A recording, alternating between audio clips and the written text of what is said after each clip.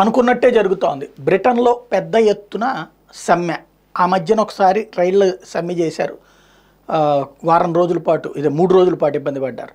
ఆ తర్వాత ఆగింది. అయితే దశల వారీ సమ్మె చేస్తున్నారు అక్కడ ఇప్పుడు మళ్ళీ రైళ్ళు ఆగిపోయినాయి. కేవలం పది శాతం రైళ్ళే చాలా ప్రాంతాల్లో నడుస్తున్నాయి. ఎందుకు అంటే పెరిగిపోయిన ధరలు పెట్రోల్ డీజిల్ గ్యాస్ కరెంట్ వీటన్నిటి ధరలు విపరీతంగా పెరిగిపోయినాయి. ద్రవ్యోల్బణంతో అల్లాడిపోతున్నారు. సంపాదన పెరగలేదు ఖర్చు పెరిగింది. దీంతో జీతాలు పెంచమని వేతనాలు పెంచమని పెద్ద ఎత్తున ఉద్యమాలు జరుగుతూ ఉన్నాయి. ఆ ఉద్యమాల్లో భాగంగా ఇక సమ్మెలకు పిలుపునివ్వడం ప్రారంభమైంది. ఆ సమ్మెలలో భాగంగా తాజాగా రైల్వే కార్మిక సంఘాల సమ్మె అన్నటువంటిది ప్రధానమైంది.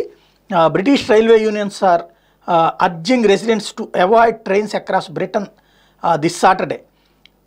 If they can the advisory comes ahead of a maj- major plan to strike scheduled drivers at 14 operators to be on strike and there may be no trains at all times between london and major cities like uh, birmingham uh, edinburgh Manchester Liverpool Newcastle ఇలా ఈ ప్రాంతాలన్నిటికీ కూడా రైళ్ళని నిలిపివేస్తున్నాం శనివారం పూట ఒకరోజు సమ్మె అంటే రేపు సమ్మెకి పిలుపునిచ్చారు. సమ్మె సందర్భంలో మీకు ట్రైన్స్ అందుబాటులో ఉండరు రైల్వే స్టేషన్కి వచ్చి ఇబ్బంది పడద్దు.